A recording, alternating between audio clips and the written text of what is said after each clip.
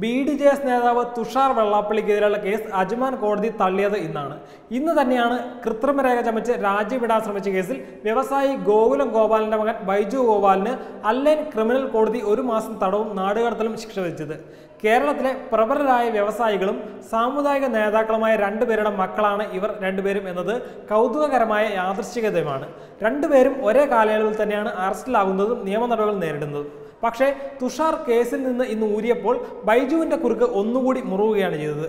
കൃത്രിമ രേഖ ചമച്ച് രാജ്യമിടാൻ ശ്രമിച്ച കേസിൽ ഗോകുലം ഗോപാലിന്റെ മകൻ ബൈജു ഗോപാലിന് തടവും നാടുകടത്തലുമാണ് ഇന്ന് അല്ലൈൻ ക്രിമിനൽ കോടതി ശിക്ഷ വിധിച്ചത്. ഒരു മാസം തടവും നാടുകടത്തലുമാണ് കോടതി വിധിച്ച ശിക്ഷ.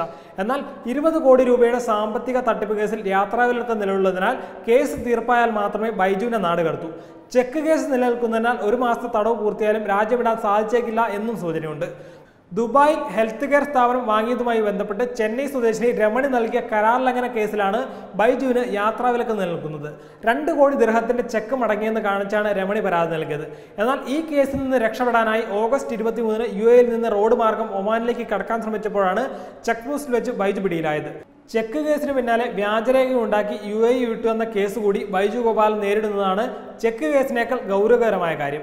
യാത്രാവിലക്ക് മറികടന്ന് രക്ഷപ്പെടാൻ ശ്രമിച്ചതാണ് ബൈജു ഗോപാലിനെ ശരിക്കും വെട്ടിലാക്കിയത്. ഇതോടെ ഒത്തുതീർപ്പിലൂടെ കേസ് രമണി പിൻവലിക്കുകയോ കോടതി വിധി അനുസരിച്ചുള്ള ശിക്ഷ അനുഭവിക്കുകയോ ചെയ്താൽ മാത്രമേ ഇനി രാജ്യമിടാൻ സാധിക്കൂ.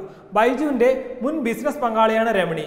രമണിയുടെ ഹോട്ടൽ ശൃംഖലയും യു എയിലെ ക്ലിനിക്കും വാങ്ങുന്നതുമായി ബന്ധപ്പെട്ട ഇടപാടുകളാണ് കേസിന് ആധാരം. ഹോട്ടലിന്റെ വിലയായി പണവും ചെക്കുകളും ബൈജു നൽകിയിരുന്നു.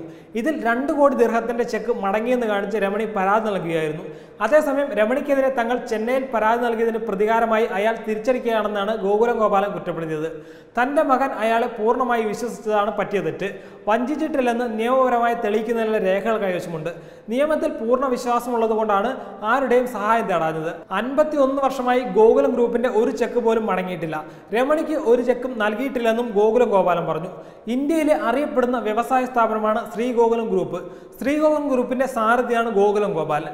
ഗോകുലം ഗ്രൂപ്പിന്റെ ഡയറക്ടറാണ് ബൈജു ഗോപാലൻ. ചിട്ടി ഫണ്ട് മെഡിക്കൽ കോളേജ് സിനിമാ നിർമ്മാണം വിദ്യാഭ്യാസ സ്ഥാപനങ്ങൾ മിനറൽ വാട്ടർ കമ്പനി പഞ്ചനക്ഷത്ര ഹോട്ടലുകൾ ടി വി ചാനൽ തുടങ്ങി രാജ്യത്തിനകത്തും പുറത്തുമായി പടർന്ന് പന്തലിച്ച് കിടക്കുന്ന വ്യവസായ ശൃംഖലയാണ് ഗോകുലത്തിനുള്ളത്. Web desk തത്വമേ news.